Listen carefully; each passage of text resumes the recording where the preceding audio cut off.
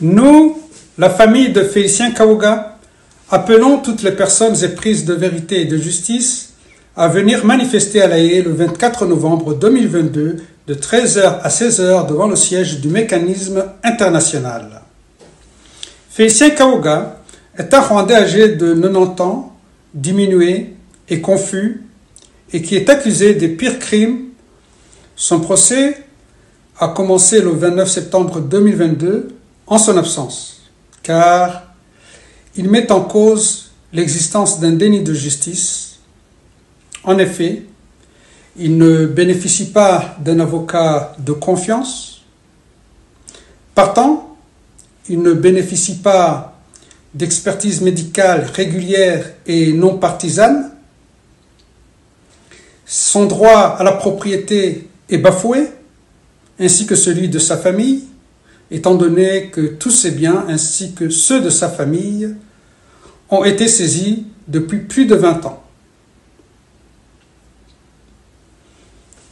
Tout ce que nous réclamons n'est que la justice, la vraie justice.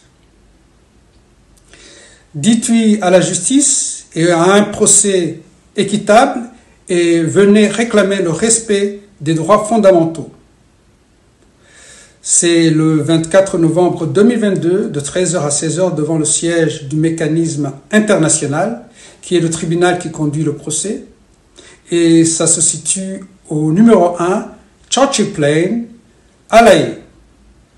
Venez nombreux, nous vous attendons et merci pour votre soutien. Uyu munsi iburanishwa tukiri mu irahe mu buhorandi iburanisha mu rubanza rwa felicien kabuga uregwa ibyaha bya jenoside mu rwanda ryakomeje mu rugereko rw'irahe mu buhorandi rwasigaye ruca imanza zasizwe n'urukiko mpanabyaha rwa arusha. Umutangabuhamya w'ubushinjacyaha watangiye gutanga ubuhamya uyu munsi yahawe ibibazo n'uruhande rwunganira kabuga. Uyu mutangabuhamya akaba yarahoze mu mutwe w'interahamwe i kigali mu murwa mukuru ubu akaba ari mu gifungo cya burundu muri gereza mu rwanda nyuma yo guhamwa n'ibyaha bya jenoside. Yatanze rero ubuhamya ari muri arusha muri tanzania hifashishijwe uburyo bw'amashusho. Mugenzi wanjye didier bikoremana ukorera mu biro bya bbc nairobi yakurikiye iburanisha ryo kuri uyu wa kane mu buryo bw'amashusho. Yo ku rubuga rw'urukiko ari i nairobi navuganye nawe mu kanya atangira ambwira ku bibazo yabajijwe harimo icya francoise mate ni umunyamategeko wunganira kabuga wamusabye gusobanura inyandiko yigeze gusohora avuga ko kabuga atari afite ububasha bwo guhagarika ubwicanyi. Amubwira ko koko iyo nyandiko ariko yabivuze usibye na kabuga n'abategetsi b'icyo gihe nta bubasha bari bafite bwo guhagarika ubwicanyi akabishingira ku kuntu we n'interahamwe babaga bari kumwe bakoranaga. Umucamanza ian bonomi ukuriye inteko y'iburanisha yahise abaza umushinjacyaha rupert eldekin niba hari icyo ashaka kongeraho asobanuza umutangabuhamya niba kabuga yaba yaragerageje guhagarika ubwicanyi bw'interahamwe ku kimironko aho yari atuye. Umutangabuhamya asubiza ko atazi ko kabuga yigeze abigerageza. Didier twumva ko kandi umutangabuhamya yanabajijwe ku nterahamwe zo ku kimironko mu mujyi wa kigali ejo ku wa gatatu hashize yari yavuze ko zitwaga interahamwe za kabuga. Ni iki yazibajijweho nyirizina uyu munsi? Yabajijwe niba yarigeze ajya mu rugo kwa kabuga aho ku kimironko avuga ko yajyagayo agiye guhura na haje abakiga yavuze ko yari akuriye interahamwe zo ku kimironko kandi ko ari we wari ukuriye izacungaga umutekano ku rugo rwa kabuga. Avuga ko yagiyeyo rero ariko ntiyinjire imbere mu rugo kwa kabuga akabona ko hari interahamwe zari zirimo imbere mu rugo n'izari ziri inyuma y'urugo.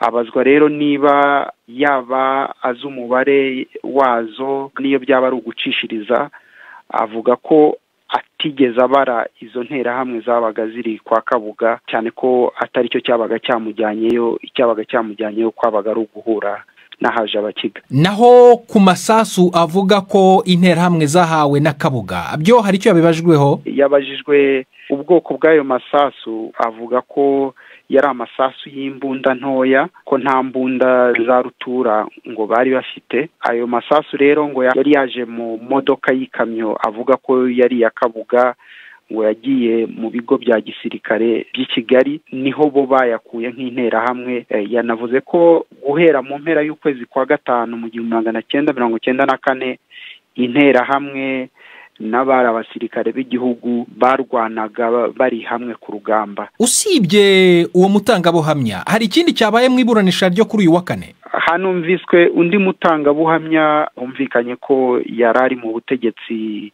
bwite bwa leta i kigali yashinje kabuga kuba yarateye inkunga radiyo rtrm ndetse yavuze ko yari uw'ibanze mu banyamigabane ba rtrm abo banyamigabane yavuze ko barimo n'uwari perezida juvenal habyarimana.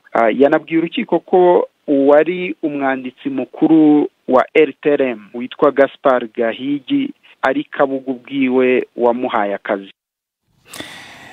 Inkuru tugejeje ku isaa kumi n'iminota mirongo itatu n'umunani hano i london mu bwongereza mu rwanda ni saa kumi n'ebyiri na mirongo itatu n'umunani. Iyi ni bibisi gahuza miryango urumva no kuri kisura fm mu burundi muri uganda mu mbabarire ndetse no kuri bibisi gahuza akadomo komu ni porodanse y'uva mu kanya turagaruka ku makuru arambuye.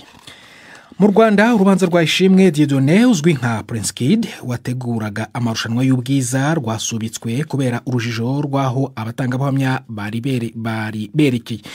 Igihe urubanza rwasubukurwaga mu kwezi gushize kwa cumi umucamanza yari yategetse ko urukiko ruzumva abatangabuhamya bane hakoreshejwe uburyo bw'ikoranabuhanga rya skype kandi barindiwe umutekano. Ishimwe diyodone yari yasabiwe n'ubushinjacyaha igifungo cy'imyaka cumi n'itandatu ku byaha akurikiranyweho birimo gukoresha undi imibonano mpuzabitsina ku gahato ibyahawe ahakana. Ibyo bucyanira mu rukiko dutegura inkuru ikurikira ni urubanza rwabereye mu muhezo ariko amakuru bbc yahawe n'umwe mu bunganira ishimwe didone ni metere nyembo emeline. Ni uko batanze inzitizi z'uko bagomba kumenya aho abatangabuhamya batangira ubuhamya kuri skype baherereye n'ubwo bagombaga kurindirwa umutekano.